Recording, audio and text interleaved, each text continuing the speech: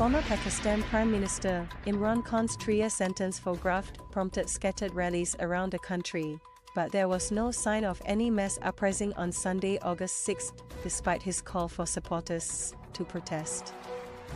His imprisonment has raised fresh concerns of violence ahead of an election due later this year, that he is now disqualified from contesting, and has cast doubt on the fairness of any vote that excludes him.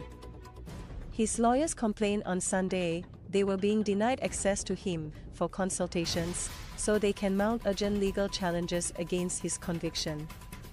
They also raised concern for his confinement at Attock jail.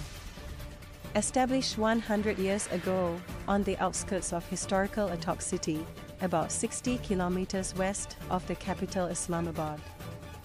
He is a 70-year-old man and a former elected prime minister, so legally, he should be given a better class of conditions inside the jail. Said Gohar Khan, a member of his legal team.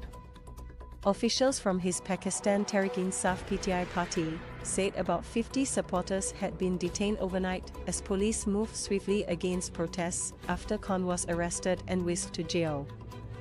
At a court hearing that Khan did not attend on Saturday, a judge found him guilty of graft in relation to gifts he received while he was prime minister and sentenced him to three years in jail.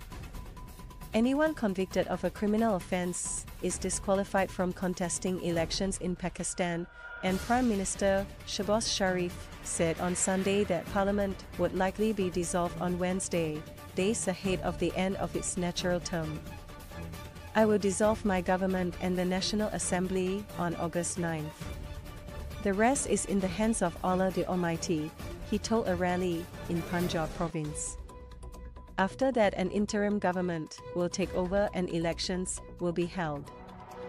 This would give the incoming interim government until mid-November to hold an election, but there is already speculation it could be delayed following the release on Saturday of the country's latest census data.